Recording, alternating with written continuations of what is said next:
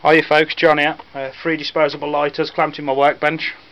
Gonna go out there now and take a few shots at them. Um, hopefully they should explode on impact. See how many shots this takes.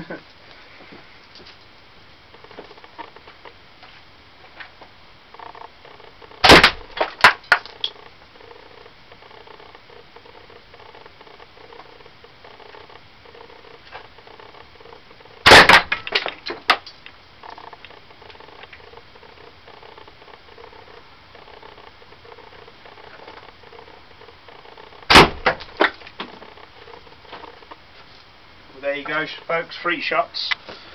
Uh, just to show you, I actually took the top off the blue one. Uh, it didn't actually make a exploding noise like the other two. But uh, so I just left it a red one. And uh, as I say, I took the top off the blue one.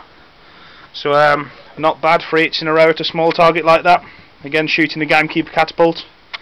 Uh, please rate, comment and subscribe folks, many more videos to come. All the best, John.